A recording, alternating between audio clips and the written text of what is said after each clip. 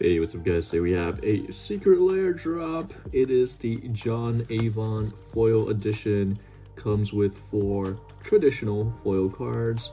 And uh, super excited about this one because this has one of the biggest chase cards for me for my Eldrazi commander deck. And uh, yeah, let's see this. So here's the big thank you card set that to the side there and then here we go. That's it. Just this one little pack of cards. There is the chase card i've been waiting for for so long. Let's open up the pack. Let's take a look.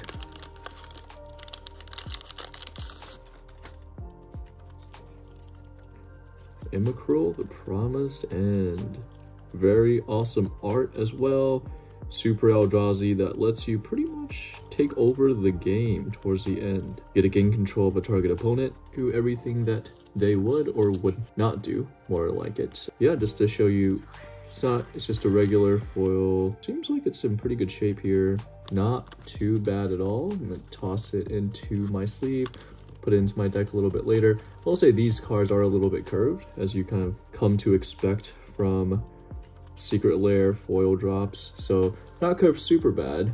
Like it's not the first thing I noticed, but it's definitely something I I noticed. Let's take a look at the uh, second card here. It's a Serra Angel. Man, there's just way too many secret lairs these days, but this is one of the ones I just had to get for the Emrakul. It's a nice little discount on the Emrakul there. Uh, Serra Angel, not a very widely played card anymore. Used to be a little bit more. Then we have a Brainstorm. One drop to draw three cards, and then put two on the top. And then a legendary Hydra. And that's the fourth card there. It's a Progenitus. So this one actually comes with a little bit of a, little bit of a scratch there, you can see um, on the card itself, right that area. Very cool card. Doesn't see too much play, not worth a ton. All right, and then the last card is Hollow. Brainstorm. That's interesting. So it's the same card, but it's the, it's kind of like a reverse version of it. Wonder if you can get the other cards reversed. Like, could you pull two Emrakuls in the same pack? That would be pretty insane if you could. That's pretty cool. Two different foil treatments. They are numbered differently as well. Yeah, so again, this this little secret lair is just all about getting that Emrakul. Everything else is interesting, but nothing else is, you know, super crazy.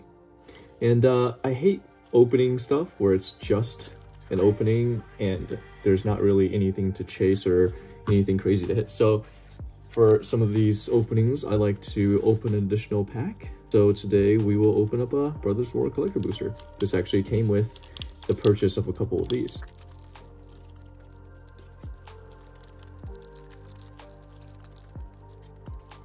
Alright, so I've never had that much trouble with a booster pack that I had to just go ahead and use scissors on it. So that is pretty special. We have a foil soldier token, power stone token. That's a very cool token there. And let's take a look.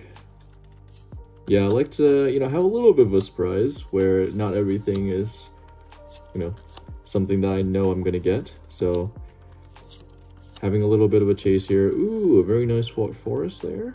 Very cool. Set that to the side as well. Hurkyl's Final Meditation is our rare here. Fade from History. That is an adorable rare. Absolutely adorable. Then destroy all artifacts and enchantments. Oh, Glint Raker from the Commander set. Brothers War Commander. Little Drake there. Springleaf Drum. Okay. Jalum Tome. Let's see if we can get a nice little... Hey, it's a Quietus Spike. But that is pretty crazy. Player loses half their life rounded up. Hey, and there's our Universes Beyond Transformer card. Flame War. Brash Veteran. And then let's see the other side of that.